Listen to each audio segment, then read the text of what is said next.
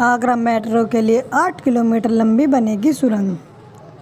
Agra metro के अब underground station पर हो, होगा काम। आठ किलोमीटर लंबी खोदी जाएगी सुरंग। जाने कितनी कहाँ से, कहाँ तक बनेगी सुरंग और कौन से होंगे स्टेशन? दोस्तों, इससे पहले आपसे एक गुजारिश है। आप हमारे इंस्टाग्राम के लिंक को डिस्क्रिप्शन में से फॉलो कर सकते हैं। वीडियो को लाइक करें चैनल को सब्सक्राइब करें, वीडियो को ज़्यादा से ज़्यादा शेयर करें। तेज़ी से चल रहा है। काम आगरा में मेट्रो का काम तेज़ी से चल रहा है, लेकिन अभी तक एलिवेटेड स्टेशनों पर ही काम किया जा रहा है।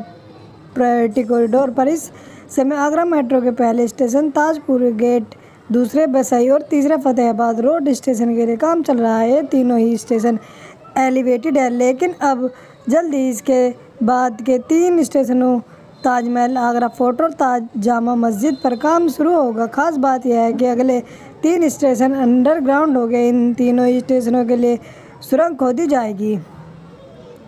आठ किलोमीटर लंबी होगी सुरंग। Uttar Pradesh metro rail corporation के अनुसार आगरा में सात भूमिगत स्टेशन के लिए टेंडर प्रक्रिया चल रही है। अक्टूबर के दूसरे सप्ताह में टेंडर की बिड खोली जाएगी। इसके बाद अंडरग्राउंड स्टेशनों के लिए काम शुरू किया जाएगा। ताजमहल से आर बी एस तक सात अंडरग्राउंड स्टेशन के लिए यह टेंडर इन सात स्टेशनों के लिए करीब आठ किलोमीटर लंबी सुरंग खोदी जाएगी। सबसे पहले प्रायोरिटी कॉरिडोर पर चल रहे तीन भूमिगत स्टेशनों ताजमहल, आगरा फोर्ट और जामा मस्जिद के लिए काम होगा।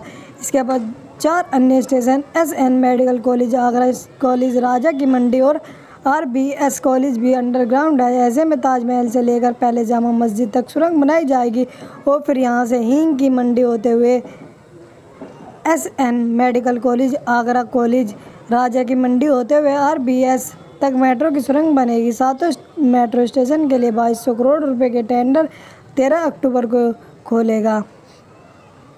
यह है underground station Taj Mahal, Agra fort Jama Masjid S N medical college, Agra college, Raja ki Mandi R B S college. दोस्तों, अगर वीडियो में जानकारी अच्छी लगी हो तो वीडियो को लाइक करें, चैनल को सब्सक्राइब करें, वीडियो को ज़्यादा ज़्यादा शेयर करें।